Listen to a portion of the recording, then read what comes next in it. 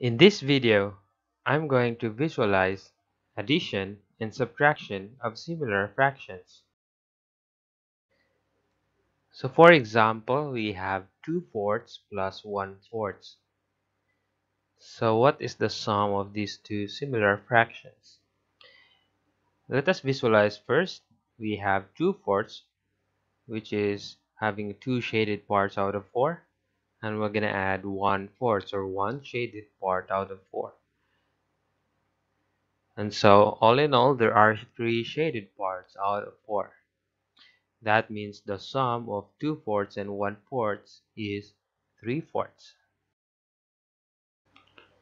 Let's take another example. We have one sixth plus two sixths. So let us visualize this.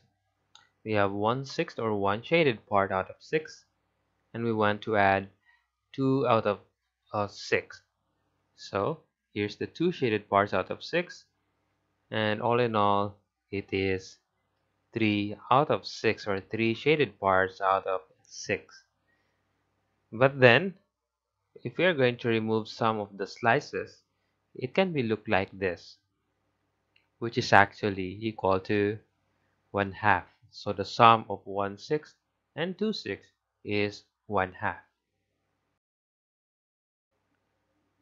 Another example, we have 4 ninths plus 2 ninths.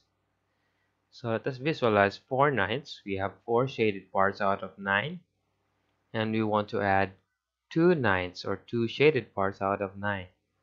So all in all it is 6 ninths or 6 shaded parts out of 9.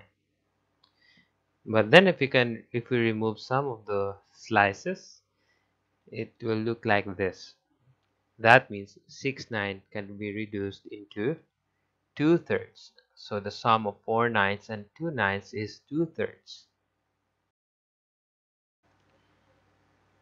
Now let's have subtraction of similar fractions. We have 2 fourths minus 1 fourth.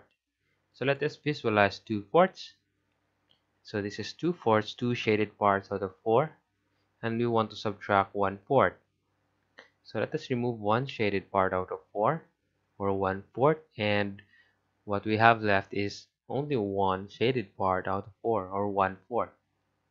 So the difference between 2 fourths and 1 fourth is 1 fourth or one shaded part out of 4. Another example, we have 5 sixths minus 3 sixths. So let us visualize this we have 5 shaded parts out of 6 or 5 6 and we want to remove 3 shaded parts out of 6 or 3 6 so what's left is 2 shaded parts or 2 6 but then if we remove some slices it would look like this. That means 2 6 can be reduced into 1 third. That means the difference between 5 6 and 3 6 is one third.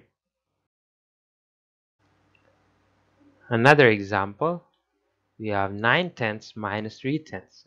So let's visualize 9 tenths. So we have 9 shaded parts out of 10 and we want to remove 3 shaded parts out of 10. So let us remove 3 shaded parts and what we have left is 6 out of 10 or 6 tenths and then if we are going to remove some slices it gonna look like this. That means the 6 tenths can be reduced into 3 fifths. That means the difference between 9 tenths and 3 tenths is 3 fifths. Thanks for watching and i hope you have learned from this video. Please support my channel by pressing the subscribe button. And also write the math topics you want to learn in the comment section